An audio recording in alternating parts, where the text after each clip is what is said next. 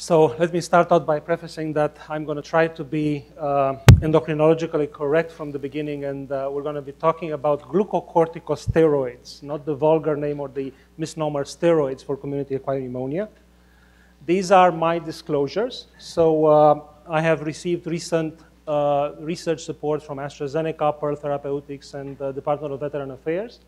And I should make a couple of other disclosures here. One is that until very recently, until we completed this study, I was the local site investigator at the Atlanta VA where I work uh, for the Veteran Affairs Cooperative Study 574, ESCAPE, which actually studied the, investigated the corticosteroids, the steroids in community-acquired pneumonia of the critical ill patients.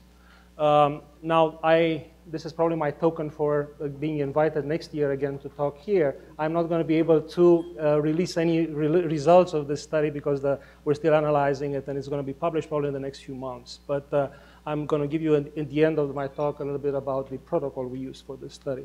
Uh, I also have to make the, the, the, disclosure that I'm pretty equipoised about this. I'm not one of those steroid hawks that is using it for everything. So uh, although our main investigator for the escape was Dr. Meduri, who was pretty much biased towards steroids, uh, I'm going to try to look at, uh, at it from my, my current approach, which is really I don't have a lot of bias one way or another. Let me start out with the history of glucocorticosteroids. And uh, uh, these three uh, physicians, one actually is a physician scientist.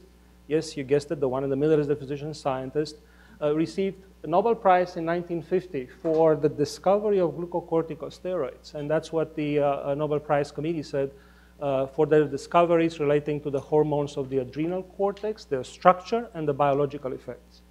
And this was the description of their work by the committee.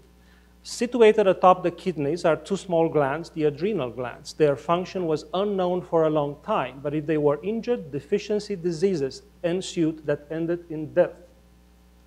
In the mid-1930s, Edward Kendall, a Mayo endocrinologist on the left side there in the, in the picture, and Tadeusz Reichstein, who was a physician scientist in Basel, Switzerland, succeeded in isolating and analyzing the composition of a number of similar hormones derived from the adrenal cortex. They, these became the basis for cortisone preparations that, with the input from Edward Kendall and Philip Hench, another Mayo physician, were used at the end of 1940s to treat rheumatoid arthritis and other inflammatory conditions, and I would say, I would say with resounding success. So with the introduction of the antibiotics in the 1940s and 1950s, we started to see a significant reduction in the acute mortality for pneumonia and generally in infections.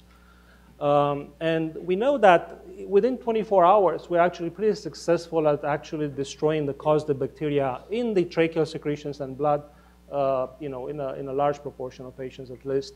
Of course, in the rest of respiratory secretions, that's not the case that early, but still we are very successful in eradicating the causative bacteria.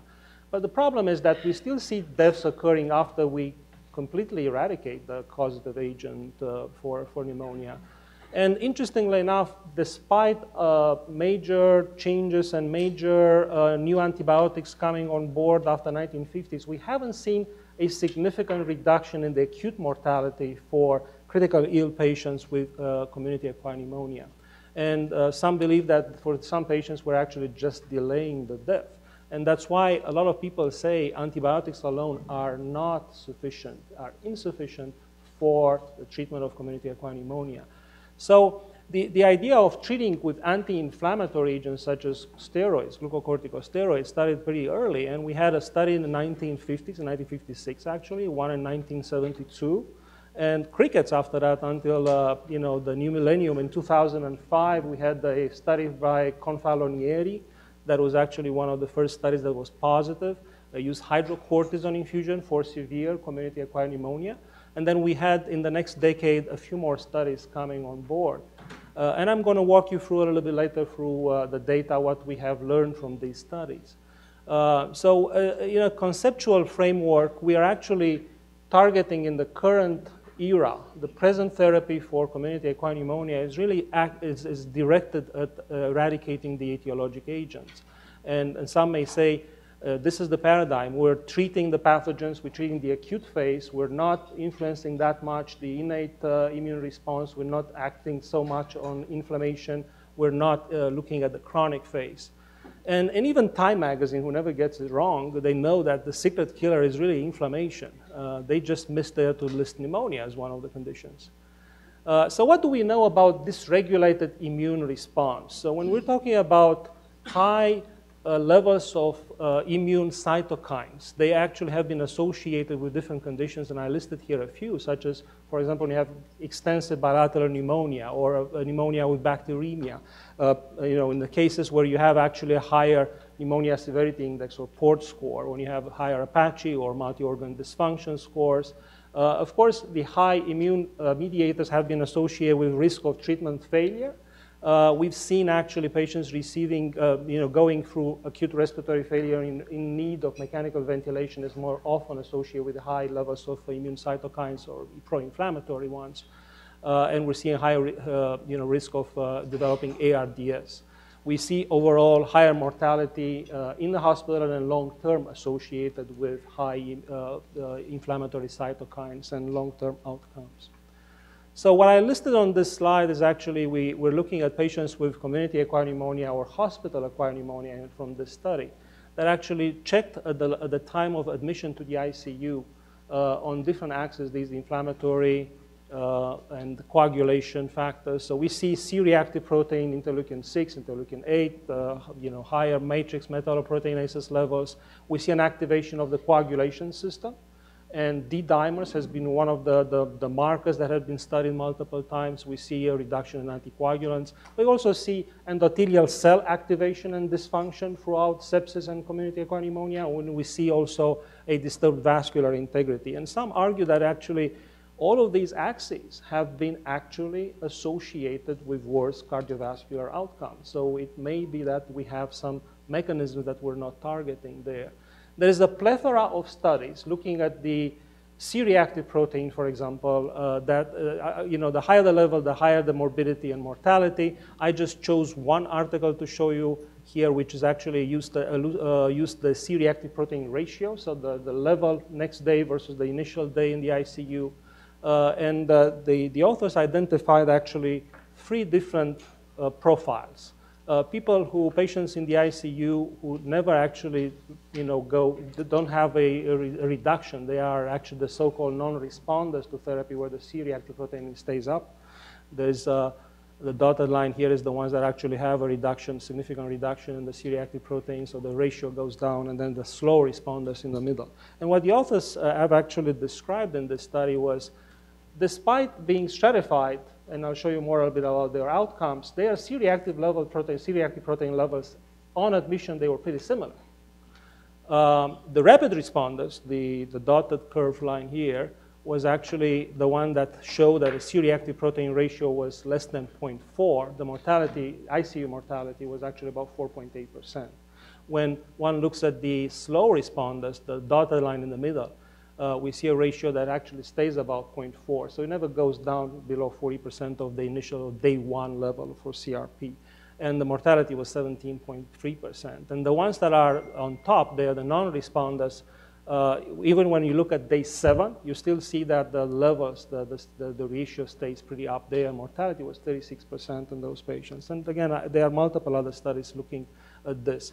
And some argue based on this type of data, maybe we should start treating with anti-inflammatory agents early on, you know, maybe day one or day three. Or at least target those that have a profile that is associated with higher morbidity or mortality load. Um, a, a, plethora of publications came out of the uh, genetic and inflammatory markers of sepsis, uh, GenIMS. Uh, and I'm just showing you here what uh, you know a few publications show there for patients hospitalized with community-acquired pneumonia. So you may see there in the middle, uh, in, in, yellow or green, um, we have a small proportion of patients that exhibit the clinical signs of SIRS, such as fever, tachycardia, tachypnea. Um, and then when one looks at prospectively analyzing these patients, what happened, what, what the publications have shown that actually mortality in hospital mortality is about 5%. But if you look one year out, so if you follow these patients after their complete clinical resolution, you actually see a 16.2 mortality, 16.2% mortality at one year, which is significantly higher than anticipated for this category of patients, even when adjusted for comorbidities. Now, this is another publication, look at the level of interleukin-6, and it's interesting that they found that uh, patients who developed severe sepsis and died had continued to have high levels of interleukin-6 throughout the first seven days. And then if you look at patients who developed severe sepsis and survived, their levels seem to be a little bit lower. And the patients who never developed sepsis actually had lower levels throughout. The interesting thing is that we're talking about SIRS resolution from a clinical point of view around day three and yet these levels continue to stay up and kind of stratified based on, on uh, you know, how severe the disease is. And the other interesting thing is these inflammatory cytokine levels had been elevated for weeks even after the initial resolution of SIRS. So we may actually have a signal there that the level of inflammation is still significantly elevated and the question is, are these important from a pathophysiological point of view? Is that because we have extensive damage into the lungs and the repair is significant, or they, these inflammatory cytokines are actually deleterious to the host? A few other publications I'm going to walk you through. So this is looking at mortality um, you know, for a cohort of patients with community acquired pneumonia that were hospitalized. And we're looking at uh, based on the hospital admissions of interleukin 6 and interleukin 10. So if you have a dyad of high interleukin 6 and high interleukin 10, the mortality is much higher than those who have both of them low and somewhere in the middle with uh, a high interleukin 10 and medium interleukin 6. And again, that's based on hospital admissions. Uh, similarly, we talked a little bit about the coagulation pathways. If you look at D-dimers and you stratify them by quantiles, you know, you see actually that uh, you know, the higher the level of D-dimers at the time of admission is actually the mortality is higher, significantly higher from quartile one to, to, to the second one. If one looks at the discharge levels of these pro-inflammatory cytokines, such as interleukin-6, for example, so these are patients followed for one year, and at the discharge, we're checking the interleukin-6. If you had a high interleukin-6 level, the mortality seems to be much higher than a low interleukin-6, similar to D-dimers, and these differences have been pretty significant one year out from the initial admission with pneumonia. Now, when one looks, uh, and in this publication, uh, the mortality rate actually at one year was much higher than we've seen in, uh, in, in, the, in the, previous uh, slide I show you with one year mortality. What are the causes of death at one year? So we find that about 31% of these patients actually die of cardiovascular disease after hospital discharge, about 31%. Uh, and the rest are infections, cancers, and other causes. When, we, when one looks at cardiovascular causes, uh, myocardial infarction, stroke, and other ischemic heart disease, congestive heart failure have been the, the main uh, you know, causes there. However, much higher than anticipated for that morbidity load. Uh, when one looks at infections causes, this is again reinfections, pneumonia, influenza, and sepsis in general. Interestingly enough, if one looks at the cardiovascular causes of death one year later after hospital discharge, we find that about 60% of those patients did not have known pre-existing coronary, uh, coronary artery disease or any cardiovascular disease. And one can argue based on that that maybe the low levels of inflammation that persist after the level of you know, initial clinical resolution, maybe this is deleterious, is a significant risk factor from a cardiovascular point of view. And just from a framework kind of uh, uh, point of view, I'm illustrating here uh, the, basically the three eras of how we approached community-acquired pneumonia or sepsis in general and how we thought about the anti-inflammatory glucocorticosteroid therapies. So in the 1970s and 80s, we actually uh, did bursts with very short period of time of high doses. This is methylprednisolone doses uh, for one to two days we've seen a very transient reduction, if any, of the you know, inflammatory profiles. And then we moved in the 80s and 90s and 90s and in the beginning of this, I'm sorry, uh, going back. In the 90s and 2000, we started to target clinical resolution, not as much as the upfront leukocytosis, high uh, uh, C-reactive protein, um, and fever. And we found that if we treat for about seven days, you actually can, you know, suppress that immune response a little bit better. However, we started to see rebounds.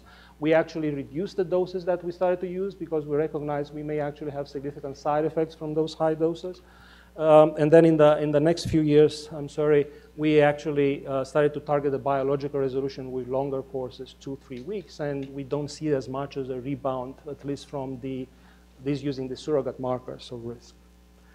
So I'm just going to give you two quotes from this more recent paper from Lancet that says within the new pathophysiological model of persistent inflammation, the duration of glucocorticoid treatment directed at achieving clinical resolution is likely inadequate. And a longer duration of glucocorticoid therapy, similar to the ones that we use for ARDS occasionally, or for pneumocystis jirovecii pneumonia, which is actually standard therapy, up to 21 days, for example, it may be the way to actually reduce the morbidity and mortality load. And the jury is still out. Now, just, just show you what's the impact of glucocorticosteroids for the treatment of PCP, P. jirovecii infection. We find that we actually reduce the need of mechanical ventilation by about 10%, and we reduce the mortality, in, inpatient mortality by about 9, 10% also. So now I'm going to walk you through a few of these studies that have been published before in community acquired pneumonia for non-severe and severe community acquired pneumonia because there seems to be a pattern there that non-severe doesn't seem to benefit as much. Uh, so these are the studies that have been published for non-severe community acquired pneumonia. What you have in green is actually the ones that reach their primary endpoint.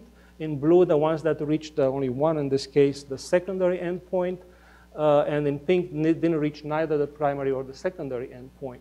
And you also have listed how many patients were in each one of those studies. So we have two positive studies, if you want, uh, the largest of them, uh, and then a small one, 55 patients that were still, still positive, and then we have a few that uh, did not reach any of their uh, endpoints. And then one looks at now at the severe community acquired pneumonia. The situation seems to be a little bit different here. We have the largest study there, that's an important point. 120 patients enrolled in that study from Torres in 2013. And that actually reached uh, the primary endpoint. Uh, two studies reached their secondary endpoints only. Confalonieri, as I told you in 2005, the first hydrocortisone trial for community-acquired pneumonia that actually showed some benefit. Uh, and the Marik study in 1993 that was non-significant. So in terms of how long the treatment was for these patients, we see that actually the range was pretty wide from one day to 10 days. Only one study actually used a taper. Um, and even that is actually debatable if you need it really for a, for a 10-day course like in Fernandez' uh, uh, trial here. But we see the duration of therapy went from three days to 10 days for the non-severe community acquired pneumonia, so in total 1,627 patients. And then when one looks at community acquired pneumonia that was severe, here we only have 390 patients in total. We see the duration actually goes down from one day from Marik study, that was a negative study, all the way to seven in most of the other studies. So the duration, pretty wide range. Now, when one looks at what specific preparation was used, we had six studies that used hydrocortisone. We have four studies that used prednisolone, uh, two that used methylprednisolone, and one that used dexamethasone. And I'm going to illustrate you now with the non-severe studies. So in non-severe community acquired pneumonia, we found that actually one study, uh, which was positive, used dexamethasone. Uh, four studies that used prednisolone, and one single study that was the first initial studies in 1956 by Wagner used hydrocortisone. When one looks at the severe community acquired pneumonia, we find majority of the studies actually use hydrocortisone. Marik study was negative. Torres study was a positive, but it used methylprednisolone. But all the other ones used about seven days of hydrocortisone therapy. So that's interesting. Of course, with so many studies, there were at least a plethora of meta-analyses. I'm just illustrating you the most recent ones, one from 2015 and one from 2016. Um, and uh, what they showed, they showed that all-cause mortality was reduced. Unfortunately, not significant. It actually reached, well, you know, one there. So it was a 33% non-significant reduction in all-cause mortality. We actually did see a 55% reduction in the need for mechanical ventilation, which was significant. We saw an admission to the ICU was reduced, but not significant. The progression to ARDS was actually significant, uh, so we saw less progression to ARDS with steroids. The duration of hospitalization was reduced by one day at least. And then, of course, we saw hyperglycemia more frequent with glucocorticosteroids. We saw GI bleeds, neuropsychiatric uh, uh, side effects, and rehospitalization, but these are not significant. Um, so when one looks at the mortality, these, these are the results for the non-severe mortality, uh, community acquired pneumonia, 5% uh, without, 4.7% with steroids. Uh, for the severe uh, community acquired pneumonia, the signal is actually pretty different, 16.8 versus 7.4. So as I showed you before, pretty significant difference. When one looks at progression to mechanical ventilation, we see it was a significant reduction, 55% and then progression to ARDS overall on, or in severe community acquired pneumonia, there's a significant reduction. uh, duration of hospitalization. If one actually uh, you know, looks at these studies, small uh, studies on the lower part, uh, you know, larger studies in the upper part considered to have a lower risk of bias, actually the reduction was between one day for the low-risk studies, low-risk bias studies, to all the way to three days for the, the, the smaller studies with a higher risk of, of, bias. And this is my last slide here. I'm just illustrating you what protocol we used for the CSP 574. So we used a total duration of therapy for 20 days. 21 day was the last day when we administered the uh, methylprednisolone. We started with a bolus of uh, methylprednisolone of 40 milligrams day zero, and then we went for seven days with a continuous infusion of methylprednisolone while in the ICU. The moment when they were transferred to the floor and they started to take PO, we switched them to PO twice a day in a blinded fashion, of course we wanted to achieve an anti-inflammatory response with a relatively good size, good dose uh, upfront in the first week, and then we reduced the dose progressively. So we did a very nice taper over the next uh, 14 uh, days uh, to try to maintain that anti-inflammatory response. We actually collected a lot of samples uh, initially and then throughout the study, including at the end of the, the course. Uh, we wanted to have the continuous infusion just to make sure we minimize the swings in the blood sugar so that would not uh, unblind the studies. And in reality, we didn't see so, so many swings, so we, we couldn't really tell who was on placebo and who was on the methylprednisolone. And we had a very low threshold to look for uh, superimposed infections because you, don't, you may not have fevers on high, high dose steroids, you may not have leukocytosis from the infection, but maybe from steroids. So we were uh, very careful in, in, in, in collecting samples to look for superimposed infections in that setting. Um, and uh, hopefully we'll get that study published soon, and I'm going to stop here with questions.